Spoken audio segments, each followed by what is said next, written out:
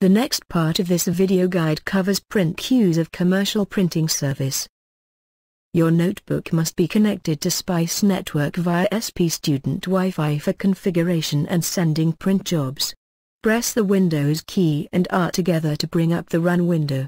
Enter the following address slash slash ssdps 640.student.sp.edu.sg, and click OK.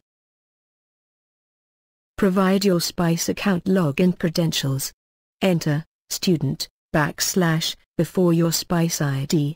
Check remember my credentials and click OK. Four printers will reveal under this server path. If you are having difficulties, please ensure your notebook is connected to the correct network and your SPICE account is active. Select the four printers. Click, hold, drag the selection and release your left mouse button. Right-click the selection and choose Connect. Allow some time for your notebook to download the drivers automatically and map the printers.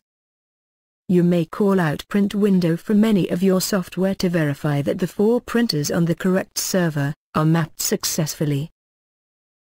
To set the default printer on A4 mono, right-click on that printer and select Set as Default Printer. If you encounter any difficulties mapping the printers, please replay this chapter and ensure every steps are followed accordingly.